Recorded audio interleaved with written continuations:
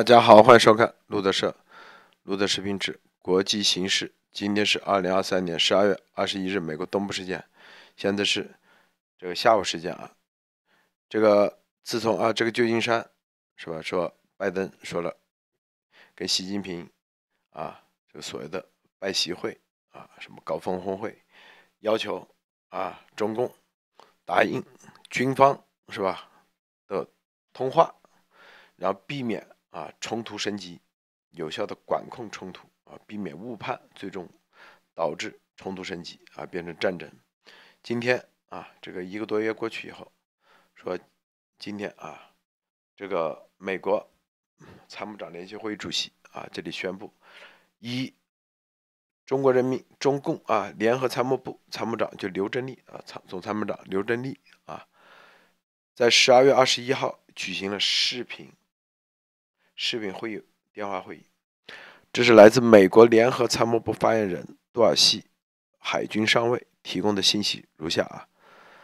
他说：“这个美国参谋长联席会主席小查尔斯·布朗将军今天十二月二十一日，与中共国的这个联合参谋部参谋长刘振利进行了视频通话，说这是布朗将军就任美国参谋长联席会主席来。”美国与中国双方军队领导人的首次通话，讨论的问题是，布朗讨论了共同努力、负责任的管理竞争、避免误判，以及保持开放和直接沟通渠道的重要性。说，布朗重申了与中国人民解放军进行实质性对话，以减少误解的重要性。说，两位军事领导人还讨论了一系列全球和地区的安全问题。说，布朗重申了举行双边。国防政策协调会谈举行海上军事协商啊协定会谈，以及开通美国印太司令部司令与中国人民解放军东部和南部战区司令之间沟通渠道的重要性。这个美国参谋长联席会主席对定期与世界各地的国防部长沟通，并与中共国的建设性对话持开放态度啊。这里头有很多啊信息点在这里啊。这个阿先生，你你怎么看啊？怎么看这些信息点？你怎么看？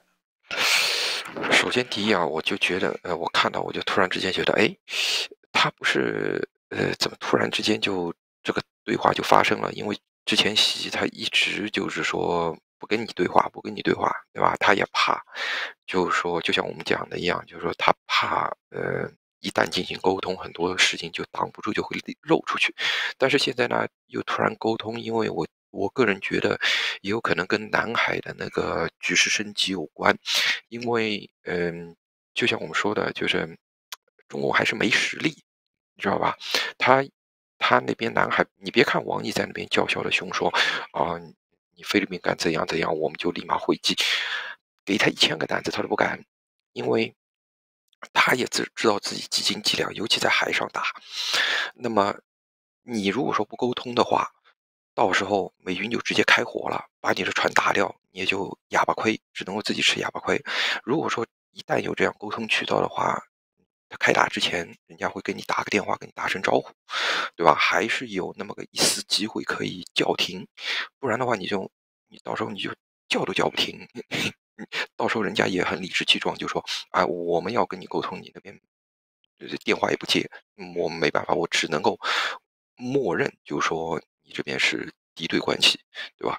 所以我觉得怎么说呢？还是感觉还是习那边怂了，就是他不得不在压力面前，他不得不，嗯，就说先先稍微暂缓一下，至少来说，他那边可以，呃，就是说，呃，舒缓一下压力。好，好的，鲁德。他这里啊，对习来说啊，这是一个。这个进退维谷的事情啊，是吧？他答应了，他就骑虎难下。他也知道美国啊要求这个对话意图是啥？意图绝对不是说要跟你搞好关系啊啊！这个意图很明显啊！你看现在是跟谁？直接跟刘振利通话啊，他不是国防部了，看没有？啊，就国防部部长没有来通话，是刘振利。是不是就参总参谋长是军委的人？就是美国啊，在这里啊，中共，美国现在其实之前一直也都知道，到底跟是就什么国防部长是没用的，国防部长就是一个，是吧？对外的啊，一点用都没有的，是吧？真正的啊，这次反而安排了这个刘振利，参谋长嘛，总参谋长，是吧？这个这里面你看啊，美国通话的意图，那毫无疑问，那都习他他绝对也知道。美国为什么老是要啊军方领导人通话啊？一个就是做到这个通知义务，是吧？如果出现问题啊，出现问题的话，那跟那边打了招呼。如果再升级的话，那美国军方跟国会这边就好交代，是不是？就是我们已经在一而再再而三的要跟对方啊。跟中共国啊建立沟通渠道，他如果不不建立不沟通啊，那出了问题，那美国的军方他就可以啊直接跟国会说我们已经努力了，他们不建立啊，是吧？拒绝沟通，是不是？第二点，一旦沟通是吧？你这里头那就牵扯很多事情啊。你看，美国要求是吧？南部战区。和东部战区司令之间啊进行沟通，以及啊举行双边国防政策协调会谈，这就具体底下的人就要集体联络了。这种联络说白就啊就对中共这个撕开了一个口子啊，什么口子啊？就美国也要是吧？也要在军队里头渗透颠覆一样的，就想你中共啊，我相信。去颠覆美国，在在这种层面，它是难度很大的啊。那美国去在这个层面颠覆他们，还是有这个可能的啊，有这个可能。因为习是很怕这个的，他是很怕这个。这就是为什么啊，之前一直啊停止跟美国的这种沟通，他怕，知道吧？所以他一直在挑到底谁和美国这边沟通，最后。调到刘振利，是不是啊？我们早在二零二二一年年底，二零二二年年初时候就跟大家提过刘振利这个名字，一直说，记不记得啊？二先生记得吧？咱们一直说刘振利，是不是？那时候刘振利还只是陆军总司令，是吧？现在大家知道刘振利不一般吧？啊，这就是这就叫情报。提前告诉你，知道吧？刘振理不一般，你怎么看啊？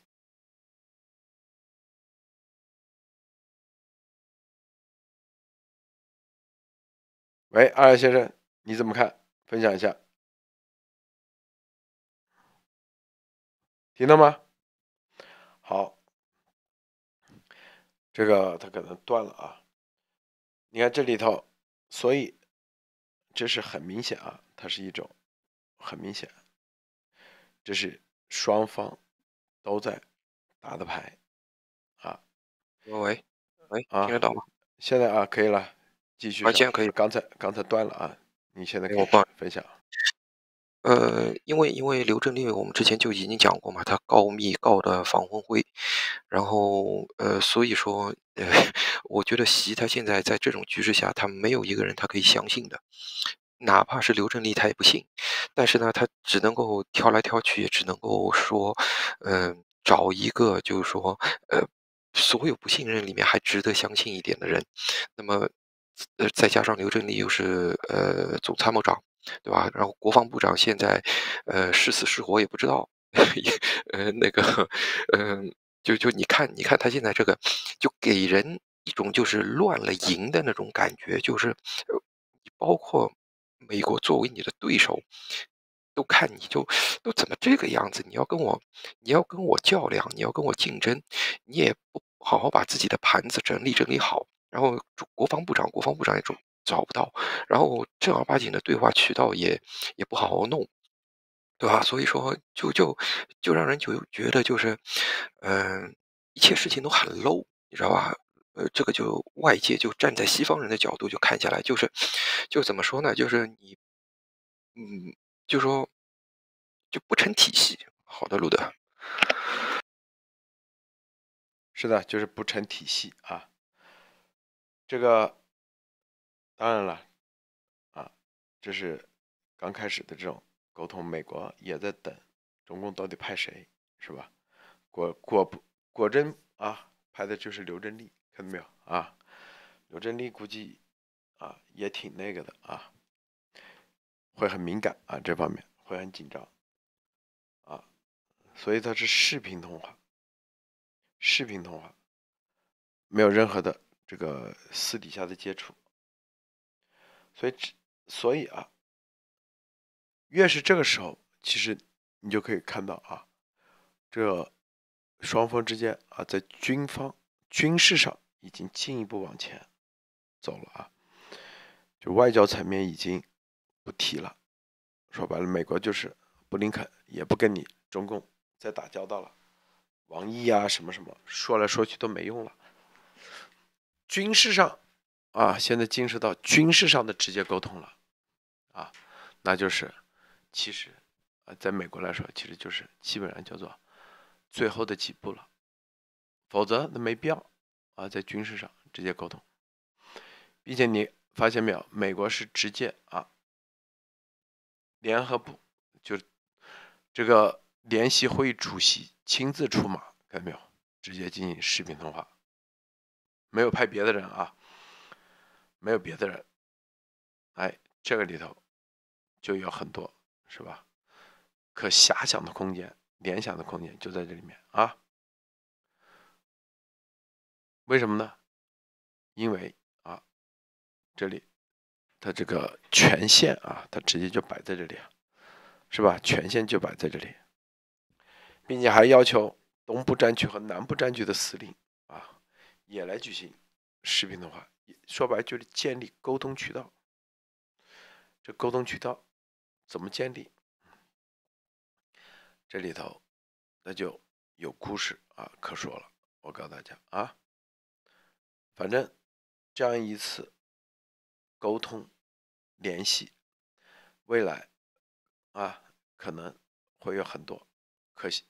遐想的空间，大家就可运作的空间就出来了，就是叫做运作空间就出来了。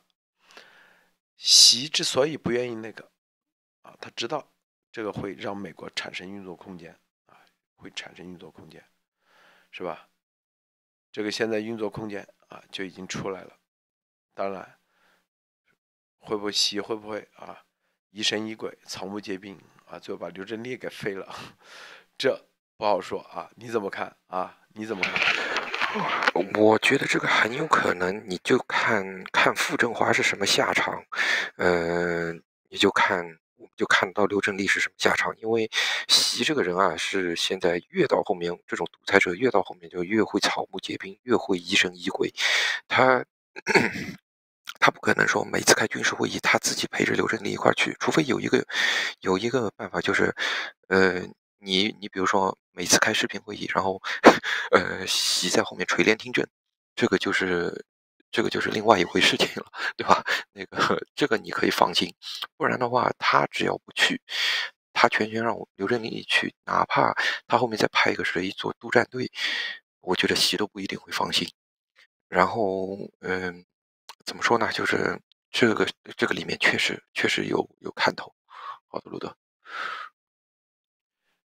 是啊，这个再说啊，所以有些也是胡扯，说什么刘振利，哎呀，做国防部部长，他都不，他们都搞不明白，总参谋长比国防部长级别高多了，啊，那是有实权单位，国防部长是没有实权的啊。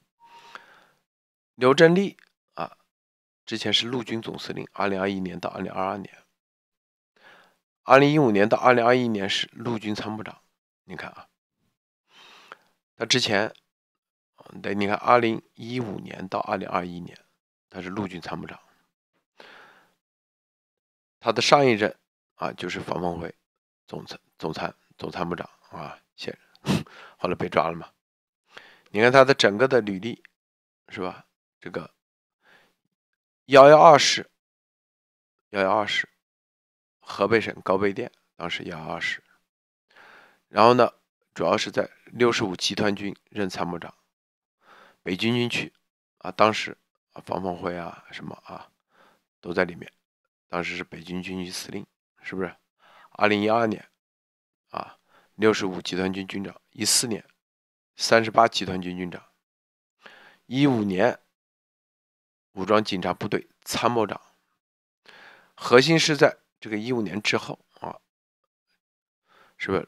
升任陆军参谋长，我们之前，之前啊跟大家说过，这个防火会那个事情，啊，说白了是跟刘振利有关系的啊，这是肯定的。我跟你说，高密有关系，所以呢，所以啊，这个习啊对他觉得这个人比较值得信任，所以呢，跟美国这边沟通就安排他来，是吧？